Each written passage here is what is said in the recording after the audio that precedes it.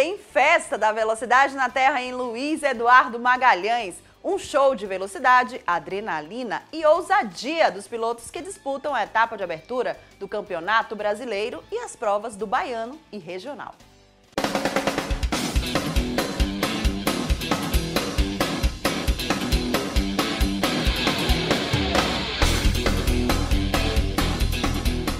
As emoções de velocidade na Terra vão acontecer em doses extras nesse final de semana, na cidade de Luiz Eduardo Magalhães, onde acontecem as disputas das provas de abertura do Campeonato Brasileiro e a terceira etapa do Baiano de Turismo, além de provas do Regional e Baiano de Kart Cross.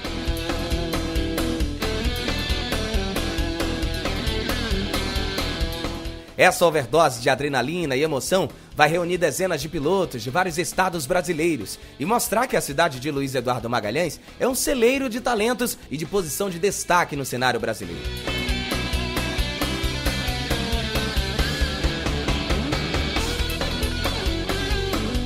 As provas acontecem no exigente e técnico circuito Júnior Poleto, onde serão disputadas várias baterias de todas as categorias, que está com uma excelente infraestrutura montada para atender aos pilotos, equipes e ao grande público que deve lotar as arquibancadas montadas no local.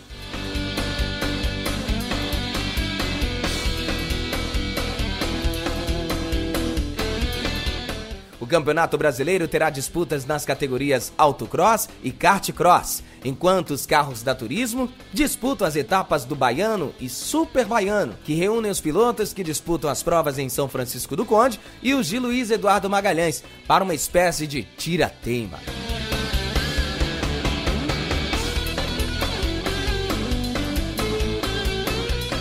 A prova do Baiano é organizada pelo Clube de Automobilismo da Bahia, com supervisão da Federação de Automobilismo da Bahia. A competição conta com o patrocínio do governo do estado da Bahia, através do Faz Atleta e da Petro Bahia.